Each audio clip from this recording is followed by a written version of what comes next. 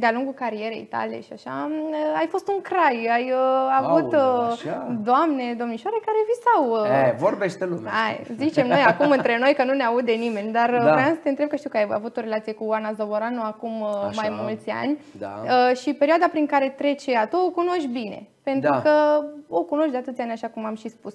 Te așteptai să treacă prin momentele astea acum? Mi-e greu să vorbesc despre niște oameni pe care eu i-am cunoscut uh, acum 20 de ani.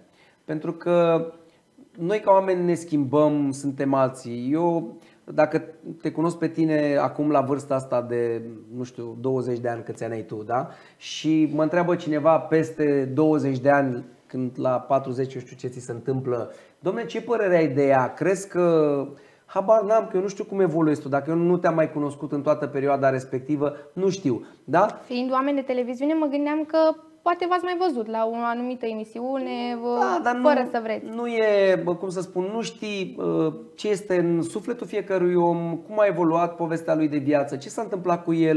E foarte greu să uh, apreciezi. Uh, Da, noi ne-am cunoscut uh, acum mulți ani, uh, am fost împreună o perioadă, a fost o perioadă frumoasă, după care fiecare a mers pe drumul lui. N-a fost să fie.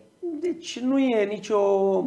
Și mi-e greu să mă gândesc acum sau să emit judecăți de valoare despre Oana de astăzi pe care eu nu o cunosc.